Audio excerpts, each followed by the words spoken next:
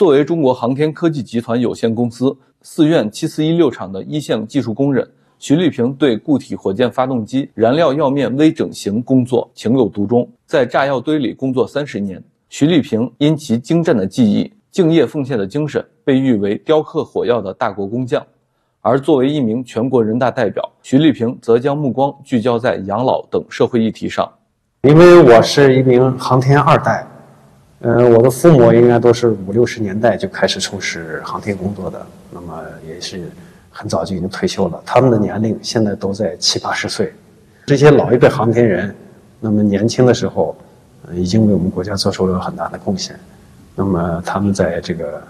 呃年龄大了以后，也能够。享受到当年这个奋斗啊带来的这些成果，能让他们能够开开心心的这个度过自己的晚年。所以说，这几年就我一直都比较关注这个养老方面的话题。临近两会时间，记者见到徐立平时，他仍在与同事反复讨论建议的内容与细节。今年我还是从一个小切口方面又提了一个养老方面的建议，就是关于将呃关于加快开发和应用。老年人家庭用的安全装置方面的建议，这个也是基于我日常的，就是对生活的一个观察吧，还有调研。